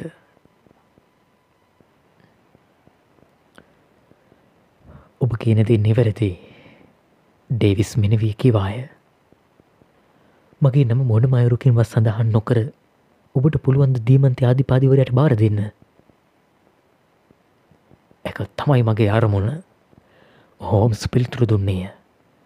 ඔපෙන් නමේ මඩ තැවරෙන විදිහට එය ඇදා ගැනීමෙන් කිසිම ප්‍රෝජනක් අත්වෙන්නේ නැහැ. විනාශයක් මිසක්. බොහොම හොඳයි. ඩේවිස් මෙනවී කිවේ පරාජිත හඬකිනි මේනකට තම ඔකුල උඩ තිබූ අත්බැහැගේ වවෘත කළ ඇය ලේන්සුක ඔතා තිබූ කුඩා පොදයක් අතරගත්තාය අනතුරු ඒතුර තිබෝදය දකුණු අත්ලටගෙන ඇය තමාත්ල මත තබා ඒ අපට ප්‍රදර්ශනය කළාය. දුටු දෙයින් මම විස්මයට පත්වෝයෙමි. මගේ ජීවිතේ මා දැක තිබූ විශාලම දියමන්තය එයයි. එහි පෘෂ්ඨ ගණනාවක් විය. අපේ ගිනි උදුනේ ආලෝකය ඒ මතට වැටි අලංකාර ආලෝක ධාරා දසත විහිදුනේය. මෙන්න තින ඔබ කිව් විදියට මාමාරුවට පත් කළ දෙය. ඇැකිවාය මං ගත්ත මේක විතරයි. නැතිවුණු මුද්දට මොකක් වුණාද කියල මම දන්නේ නැහැ. හෝම්ස් එ ඇගේ අතින් ගත්තේ දීමන්ති පෙන්ඩනේ එල්ලා තිබූ මාලියත් සමගය. මීළඟට ඔහු ඒ මදක් කැරක වෙනසේ රන්මාලිය ඒමී අතට හැරිවේය එසේ කළ ඔහු එ මගේ අතර දුන්නේ එය සමීපූ නැරබීමට මට අවස්ථාවක් ලබා දෙමිනි. බලන්න වෝට්සන් එක ලස්සන විද්‍යාඥය නම් කියන්නේ මේක පීඩට ලක්කුණු අඟුරු කුට්ටියක් පමණය කියලයි. වොටසන් මගේ මේට්‍රයා මේ මොහොතේ ඔබ හොරබඩු ජාවාරංකාරෙක් යන්නත් පුළුවනි. කී හෝම්ස් දඟකාර අවුරින් සිනස්සුනේය. මීළඟට ඔහු ඩේවිස් මෙනවිය ඇමතුවය. ඔබ බුද්ධිමත් කාන්තාවක් මෙහෙම අපරාධයක් ඔබාතින් සිදුවනේ ඇයි. හෝම්ස් මහත්මයා ඒ හැම දෙයක් මං ඔබට කියන්නම්. මෙතන ඔබ දන්නේ නැති කාරණා හුඟක් තියෙනවා. නමුත් මැනික ගත්තේ මම බව ඔබ දැනගත්තෙ කොහොමද. ඔබ නම් පොලිස් පරීක්ෂක මැලෝනට වඩා අති දක්ෂ රහස් පරීක්ෂකෙක්. ඔහු කළේ ඒ පැත්ති කැවසන බිහිසුණු මංකොල්ල කල්ලිගෙන ලයිස්තොක් තුන්නුව එක විතරයි. මහරාත්‍රී ජනිල්වලින් ගෙවල්වලට ඇතුළුවන මගරිච් කල්ලිය ජෝන්ක්ලේ කල්ලිය ගැන තොරතුරු හු කියද්දී මගේ ඇඟ සීතර වුණා. ඔබ කොහොමද මේ කාරණාව දැන ගත්තේ ඔබ අනුමාන කලාද අනුමාන කිරීම මං කොහොමටවත් නොකරන දෙයක් හෝම්ස්කය තර්කානුකුලෝ යම් කිසි උපකල්පනයකට ඇවිත් ඒකින් ඉදිරියට යාහැකි මාර්ග සොයා බලනවා මිසක් අනුමාන කිරීම මං කරන්නේ නෑ. මෙතනට පිටතින් හොරෙකු නොවා බව මගේ නිරීක්ෂණ මගින් මං මුලදිම තේරුම් ගත්තා. ඒළඟට එලිය තිබී හමුණු අත්මේසක ඒ එලියට වෙස කළ තැනැත්තා එ සිතාමතාම අප නොමගැවීමට කළ දෙයක් බව මට පෙනුණා. එතකොට කවුරු වෙත අපි සැක යොමු වන්නේ. නිවසේ සේවක මණ්ඩලේ ගැන සැකයක් ඇතිවෙන්නේ නෑ. ඒ මොකද රාත්‍රයට මේ අංගනයට සේවක සේවිකාවන් කිසිවෙකුට පැමිණීමට අවසර නැතිවීම නිසා. එතකොට අපගේ සැකේ යොමු වෙන්නේ එදාරෑ නිවසට ඇවිත් සිටි අමුත්තන් හතර දෙනා සහ ආධිපාදිවරිය වෙත. ඇයි ආධිපාදිවරිය මෙතනදියගේ හැසරීම හරිම අමුතු බව මට පෙනීගිය. ඇයගේ සිතේ යම් රහසක් තිබෙන බවත් මට හැඟුණා. ඉතිං තමන්ගෙම දියමන්ති පෙන්ඩනය හොරු ගැනීම ගැන ඇයගිත් යම් දායකත්වයක් තිබෙනවාද කියන සැකය මෙතනදි බැහැර කරන්නත් බැහැ. එක් දහස් සටසිය හැත්ත හැවිදි ඔස්ට්‍රියයානු ප්‍රභූ පවුලකත් එවැනි දෙයක් සිදුවන. හතරවෙනි අත්මේසක තොප්පියකට යටවෙයි පුටුවක් උඩ තිබී හමුවනාම මා නිශ්චිතවම දිශාවකට යොමුණා. ඒ මොකද තුන්වනි අත්මේසක කවුරු හරිලියට විසි කළේ යම් බලාපොරොත්තුවක් ඇතිව ඒ තමයි හොරකම ගැන හොයන අයට එක පහෝදා උදේ හමුවීම. ආධිපාදිවරිය කිව්වා සේවිකාව ගියාට පස්සේ තමන් දොර ඇතුරු දමා වසාගත් බව. එක සේයට සියක් ඇත්ත වෙන්න බැරි බව මට පෙනී ගිය. ඇ මිනිත්තු කිහිපයකට හරි කාමරී නෙලිට යන්න ඇති. එහෙම නම් දීමන්තිය ගන්න ඇත්තේ මේ ළඟම කාමරයක සිටි අමුත්තෙකු විසින් වියයුතුයි.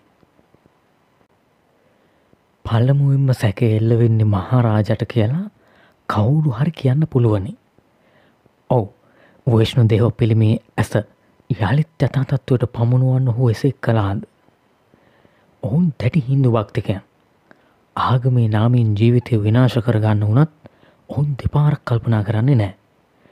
විශ්ණු පිළිමේට අයත් මැනික ඒ කාලීම මිලට ගන්න මහාරාජවරු දෙදෙනෙකු උත්සාහ කර තිබූ බවත් අපට හන්න ලැබුණ. කොහොම වනත් මේ මහාරාජ ගැන සැක ඇති වෙන්නේ නෑ ඔහු උගත්කමින් පිරිපුන් බෝද්ධිමත් කෙනෙක්. අනික උත්තිකින් දෙගටම නෙන්දින් ගෙරෝ ශබ්දය කාටත් අහන්න ලැබි තිබුණ.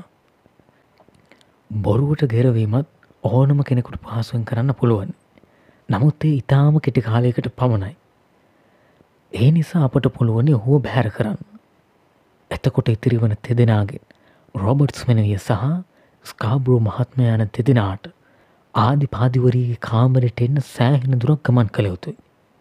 එහෙම එද්දි නිසකවම බිම ලෑලිවල කිරිකිරි ශබ්දය අනික්කායට අහන්න ලැබෙනවා. නමුත් ඔබ කිව්වා ඔබට ගෙදරින් පිට ගියාම් නිදාගන්න හුඟක් කමාරුයි එද සෙනසුරාද රෑත් ඔබ සෑහෙන වේලාවක් නිදිනැතුව හිටිය කියලා. එතකොට ලෑලිවලින් නැගුණු ශබ්දයක් ඔබට ඇහිල තිබුණෙත් නෑ. ඉතින් මට කනගාටුව කියන්න ඉතිරි වෙන්න ඔබ පමණයි ඩේවිස් මෙනවිය. මට ඔබෙන් අහන්න තිබෙන ප්‍රශ්නය මේකයි. ඇයි ඔබ මෙවැනි දෙයක් කළේ. ඉතාම හොඳ ප්‍රශ්නයක් හොම්ස් මහත්මයා. සමහරවිට ඔබ එක මගින් නොඇසුවොත් කාරණාසියල්ල මඟොබට කියන්න ඉට තිබුණා. ඒව හෙළි කරලා මට පුළුවනි මගේ හිත සෑල්ලු කරගන්න. මමත් ත්‍රමිට නාධිපාතිවරයාගේ ඥාතියකු බව ඔබ දන්නවා. ඔහු පැවතින්නේ මේ දීමන්ති එංගලන්තී වෙතගෙනා ඔස්කා මොන්ඩ් කොමරකින්. මා පැවතින්නේ ඒ කාලයේ අකාලේ මියගිය ස ජෝන් මොන්ඩ් කොමරකින්. පහුගේ අවුරුදු හතලියක පමණ කාලයක් තිස්සේ මමත් රමින්ටන් මන්දිරයට වරින්වර ඇවිත් ගියා. ඥාතිවරිය අවිවාහක කෙනෙකු වීම නිසා ඔවුන්ටත් මව කරදරයක් වෙන්න ඇති. නමුත් සමහර වෙලාවට මා සිටීම ඕනට ප්‍රයෝජනවත් වුණා. ඒ කෑව මේ සිට හිඳගන්නා අමුත්තන් ගණන සම්පූර්ණ කරන්න උමනාවනාම. මේ ආධිපාතිවිරයාගේ පියාගේ අදහසක් තිබුණා ඕගේ අවිවාහක අමුත්තෙකුට මාව විවාහ කර දෙන්න. නමුත් ඒක ඉටු වෙන්නෙත් නැහැ. සැෆ්‍රෙන් හිල්කිට්ටුව තටු නිවාසයකට වෙලා මන් දුකසේ ජීවත් වුණා. කලින් සිටි ආධිපාදිවරයා මගේ දුම්රී ගස්තු මාව තෙව්වා. විවාහ විය හැකි තරුණ වයසේ සිටි මම ක්‍රමක්‍රමයෙන් වයසට ගිහින් විවාහ නොවන මහළු ගැහැනීක බවට පත් වුණා. ඔබේ පවුල ආදි පාදිවරයට ඥාති වෙන්න කොහොමද. මගේ මුත්තත් ඔහුගේ මී මුත්තත් ඥාති සොහුරන්. මගේ පියට බේස්ටනි ආඩ්වරයා ලෙස ප්‍රභූතානන්තරයක් තිබුණ. නමුත් ඒකින් නොහුට මූල්‍ය මේ වාල් සැලසුනි නැහැ. මගේ පියා කළේ ඔහුට ඇත් බතු පිටිවල ගොවිපුරවල් පවත්වාගෙන යාම. නමුත් ඔබ දන්නවා ඕලන්දී හා ඩෙන්මාර්කයේ කොයිපුළවල් සමඟ අපට තරඟ කරන්න බැරි වුණු වග. ඔවුන් කෙරි නිෂ්පාදන හා මා සඩුමිනිට පිටරටවලට ඇව්වා. අපේ කවයන් මිය ගොස් ගොයිපුළුවල් වසා දෙමුණා. මට හිටිය එකම සොහුරෙක් පමණයි. ඔහු තරුණ කාලයේදීම යුද්ධ හමුදාවට බැඳුණා. ඉන්දියාවට යවුණු ඔහු ඉන්දියාවේ කැරල්ලිදි මිය ගියා. මගේ මවමියගේ හුඟක් කලින් අගහිඟකම් නිසා හුගේ ගෝපරවල් පිහිට ඉඩ මුකස් කර මගේ පියා මුදල් ලබාගෙන තිබුණ. ඔහු මේ යන විටම මුහුණ දුන්නේ විශාල ආර්ථික අර්බුදයකට. එක්වරක් මුදල් හදිසියකට මගේ පියා හුට ඇතු අතෝයක් වර්තමාන රෙමින්ට නාධි පාදිවරයට විකුණා තිබුණ. නමුත් ඔහු එකින් මාපයට ගෙවා තිබුණ නියමිත මුදලින් හතරෙන් එකක් පමණයි. පසෝ දෙනවකි ඉතිරි මුදල අපට කවදාවත් ලැබුණ නැහැ. මගේ පියා මියගියත් ඒ ගැන සිත්වේදනාවෙන්. අප දිලින්දන් බවට පත්වෙද්දී ඔවුන් විශාල දැනුතන් බවට පත් වුණා. ඉතින් මගේ හිතේ ඔවුන් ගැන වෛරයක් ඇතිවීම පුදුමයක් නවී නේද. මගේ පියාගේ මරණයෙන් පසු ඉතිරිව තිබූ ඒවත් වෙකුණා දමන මම ලන්ඩනයට සංක්‍රමණී වුණා. මං ජීවත් වනේ ළමයින්ට අමතර ඉගෙන්වීමක් කර උපයාගත් මුදලින්. වරින්වර රෙමින්ටන් මන්දිරයට එන්න ලැබීම මට සතුටක් වුණා. ඒ මොකද රසවත් ආහාරවේල් එහිදී ලැබෙන බව මන් දැන හිටි නිසා. ඒ වගේම සමාජයේ වදගත්තනතුරු දරුව අය මට තැන හඳුනාගන්න ලැබුණා. එයින් සමහර දෙනෙක් හරිම සිත්තද ගන්නා සුළු චරිත කොහොමුණත් අවුරුද්දෙන් අවුරුද්ද මට මේ ගැන තිබුණු උනන්දු අඩුවී යන්න පටන් ගත්තා. එකට ප්‍රධාන හේතු වනේ ඉතාම උත්තච්ච පුද්ගලයකුණු වර්තමාන ආධිපාදිවරයා. ඔහු කොයි වෙලෙත් කතා කළේ? දවසින් දවසී හෙළගිය තමන්ගේ දනස්කන්දය ගැන. මගේ දුප්පත්කම ගැන එයින් මට නිතර නිතර මිනිහි වුණා. ඒක නිසා වෙන්න ඇති මගේ මොලේ වීරූ වැටුණු මොහොතක මාතින්නේ අපරාධි සිද්ධ වුණේ. ඇත්තටම මේ දීමන්තී නීම අයිතිකාරයන් ඔවුන් නෙවෙයි. ඇය කොහොමද? මේක අපි පවුල්ලුල තිබෙන කතන්දරයක්. තුන්වනි රෙමින්ට නාධිපාදිවරය බවට පත්වුණු ඔස්කා මෝන්්කමරි තමයි ඒ එංගලන්තයට ගෙනාවේ. නමුත් ඔහුේ තමන්ගේ බාපගේ නත්පත් කරගෙන තිබෙන්නේ බාපා එනම්ස ජෝන්ට් මෝන්්කමරි ඝාතනය කිරීමෙන්. මනෝදයකට තිබෙන සාක්ෂී. පෙරදිග ඉන්දිය සමාගමින් සේවය කළ හැරි මෝගන්නම් නිලදරයෙකු එක්දහ සටසය තුනේද ඉදිරිපත් කළ දිවුරුම් පෙස්සමක ඉබව සඳහන් වෙලා තියෙනවා. මදුරාසියේ සාන්ත ජෝජ් පලකොටුවේදී දීමන්තී මිලටගෙන තිබෙන්නේ ස ජෝන් මෝන්් කමරි. ඔහු සහ ඔස්කා ඉංගලන්තේ බලා එන අතරේ ස ජෝන් අත්භූත වෙලසින් නැවින් ඇතුරු දහන්න වුණා. මේ ලේවිල්ල ප්‍රසිද්ධයට පත්වනේ නැද්ද නැහැ එම කාරණය ඔප්පු කිරීමට ප්‍රමාණවත්තරම් සාක්ෂි නොමති බව නීතිීක්ඥවරුන් කියා හිටියා. මේ අවස්ථාවේ අපි කතා බහට බාධාවන අයුරින් ඉදිරි දුරේ සීනුව නාදවිනි දියමන්තී වහා සඟවනමෙන් හෝම්ස්තම බැල්මින් මට සංඥා කළේය. මම ඒ වහාම මගේ කල්සම් සක්කුට දමා ගතිමි.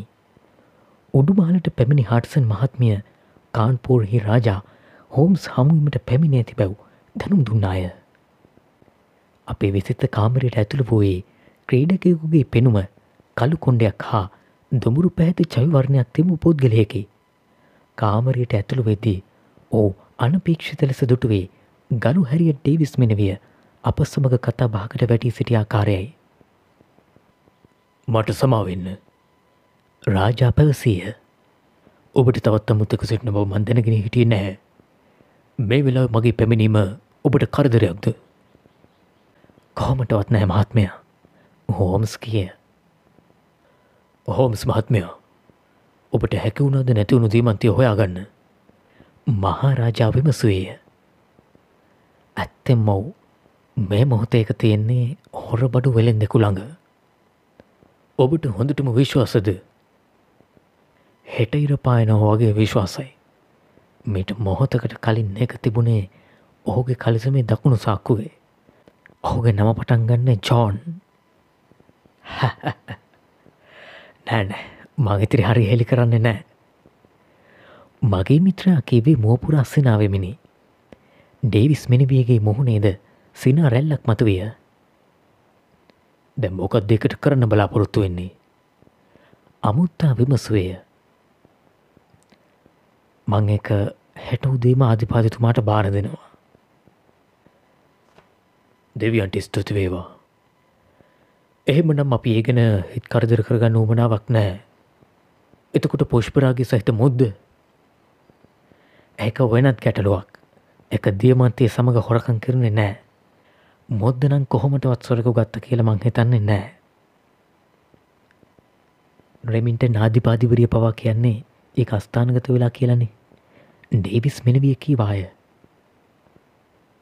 ඩේවිස් මෙනවිය මහරාජා කිය ඔබේ ඥාතීන් ගැනම මෙහෙම කතා කරනවට සමවෙන්න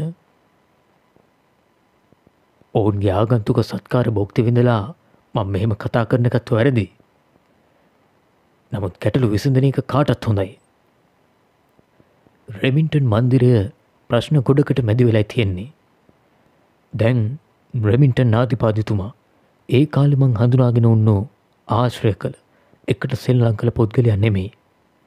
ඕ දැන් හුඟක් වෙනස් වෙලා. ආධිපාදිවරය ඉන්න ලොකු අසතුරකින්. ඔබට රාජ කියලමං ඇමතුවොත් එක වැරැද්දක් නැහැනේද. හෝම්ස් විමසය කොහොමටවත් නෑ මහත්මයා. රැමින්ට නාර්යාව පුෂ්පරාග මුද්ද කාට හරි දුන්න බව ඔබ දන්නවා. ඕම්ස් කිය නමුත් මේක කාටවත් කියන්නත් ඔබේ හිතට හරි මදි. ඇ මොකද ඒකෙන් ඔබේ පාසලේ මිතුරාට විරුද්ධව ඕ පාදූපයක් පැතිරෙන් ඉඩ තිබෙන නිසා. ඕම්ස් මහත්මය ඔබ මගේ හිතේ තියෙන දෙවල් කියන්න ඔබේ හැට පේනෝවගේ රාජාකීබී මවිතේනී පෞගිය සෙනසුරාදා කොන්ඩඩ් කෝප් මහත්මය රෙමින්ටන් මන්දිරයට ආවා. හෝම්ස් කිය ඔහු ආවැයි කෙ ඔබ දන්නවද. මට ආරංචි වුණු විදියට ඔහු ආවේ ආධිපාදිවරයකින් ලොකු මුදලක් නයට ඉල්ලාගන්න. නමුත් ආධිපාදිවරය එක ප්‍රතික්ෂේප කළා. රාජා කිය හොඳයි ඔබ අපට තැනගන්න ලැබුණද මේ කාරණය ආදි පාදුවරයාගේ පුෂ්පරාග මුද්ද හදිසියම තෝප් මහත්මයට දුන්න. ඒ මොත් ඇපේට තියල්ලා කොහෙන් හරි නය මුදලක් ලබාගන්න. දෙවියනේ ඔබ ඒ තරම් දෙවල් දන්නවද ඕක තරමක් තුරට දෙවල්මං අනුගමනය කළා. මැරිලින් සහ තෝප් මහත්මය සමීප මිතුරම් බවට පත්වී ඇති බව හැමෝටුම් වගේ පෙනුණු දෙයක්. ඒක නම් මටත් පෙනුණ. ඩේවිස් මෙනවිය කීවාය. මගේ ආධිපාද ඥාතියට වඩා මැරිලින් ඉතාම හොඳ කෙනෙක්. උද්‍යානයේ කෙලවරී මල්වගාවේ ඇති මල් කොන්ඩුවට පෙන්වන්න ඇය හුසමගෙහි ගියා? ඔවුන් සෑහින වේලාවක් ගත කළේ අපට කිසි දෙයක් නොසනු තරම් දුරක. ඔවුන්ට ඔච්චර කතා කරන දේවල් තියනෝද කියලමට පුදුමත් එතුනා. කොන්ඩරට් තෝප් කියන්නේ බොහොම කයිරාටික පොද්ගලෙක් කියලයි මට හිතෙන්නේ. රාජා කිය නමුත් ඕ අනික් අයට පැහැදිලි කර දෙන එක ඉතාම සංකීර්ණ වැඩක්. පටන්ගත්තොත් කොහෙන් කෙලවරක් වේද කෙළ දන්නෙත් නෑ. රාජා ඔප කියන දෙට මමත් සම්පූර්ණයම එකඟයි. හෝම්ස්කීවේය තේපානයෙන් පසු අමුත්තෝ අප නිවසින් පිටවී කියෝය. වෙසිත්ත කාමරයේ දොරවසා අගුළු දෙමූ පසු මගේ සාකුවේ තිබූ රෙමින්ටන් දියමන්තය සහිත පෙන්ඩනය අතට ගතිමි.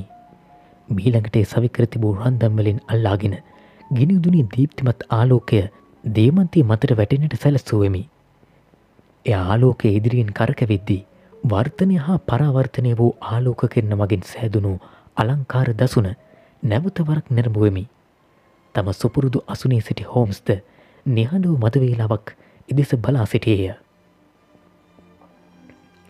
අප ජීවත්වවෙන්න හරිම සංකීර්ණ ලෝකයක වොටසන් ඔහු කීවෙන් නිහඬතාව බිඳමිනි.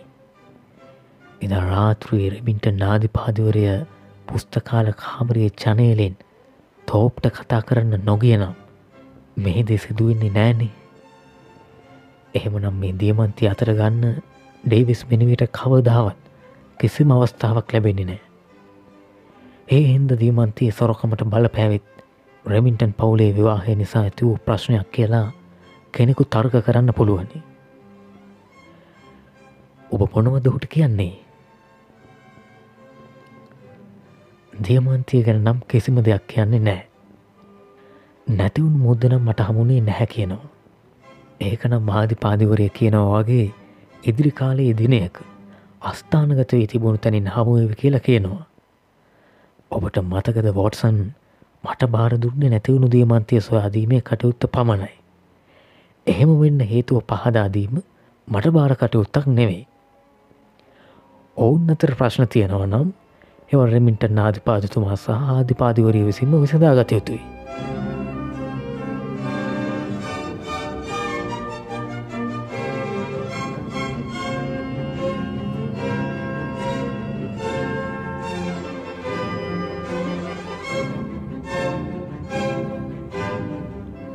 ඔබ ඒ සවන් දුන්නේ රෙවින්ටන් දියමන්තිය සම්බන්ධ ශර්ල් කෝම්ස් කෙඩි කතාවකටයි. හාඩකැවීම සහ නිෂ්පාදනය සොපොන් ප්‍රමත් මල්. ඔබ විත ගෙනාවේ සයෙන් නෝඩියෝ ස්ටෝඩිස් YouTube නාලිකාව හරහයි. අපි නැවතත් ශලකෝම්ස් කතාවකින් හමුවමු ඔබට සෝදායි ජීවිතයක්.